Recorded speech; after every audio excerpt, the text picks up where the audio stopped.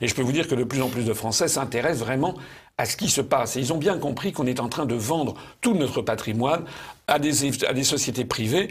Je suis désolé, mais tout le monde a à l'esprit qu'il est possible qu'il y en ait qui aient des rétro-commissions et qui s'en mettent plein les poches au sommet de l'État. Voilà. Parce qu'il y a des moments à partir duquel, quand on prend des décisions aussi contraires à l'intérêt national.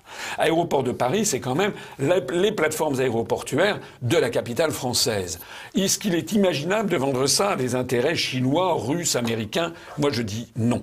Il faut que la France conserve des grands services publics conformément à ce que veulent les Français. Alors effectivement, les républicains d'un seul coup, pour faire genre, euh, s'allient avec les socialistes, avec certains communistes pour essayer de lancer ce référendum. En plus, c'est un peu à la mode. Sauf que ma Constitution, ce référendum d'initiative partagée, comme l'a dit très justement l'un de vos interlocuteurs dans le micro-trottoir, il faut plus de 4 600 000 signatures.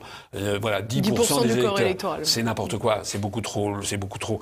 Et puis la dernière chose que je voudrais dire sur cette affaire, c'est un peu un détail, mais vous me permettrez quand même de le signaler, c'est que M. Mélenchon a voté pour la loi Pacte, alors que... C'est une erreur.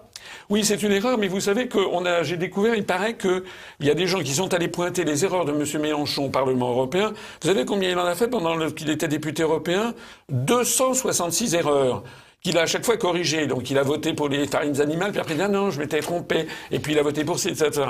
Donc je trouve que M. Mélenchon, s'il se trompe à ce point, quand il appuie sur un bouton, d'abord il ne faut pas les lire à la présidence de la République. Il ne faudrait pas que, au lieu d'appeler un huissier, il appuie sur le bouton de la force thermonucléaire, ça serait quand même un peu gênant. Mais en plus de ça, je considère que euh, voilà, il y a quelque chose, il y a quand même là-dedans des choses qui ne sont pas claires sur ces, sur ces questions.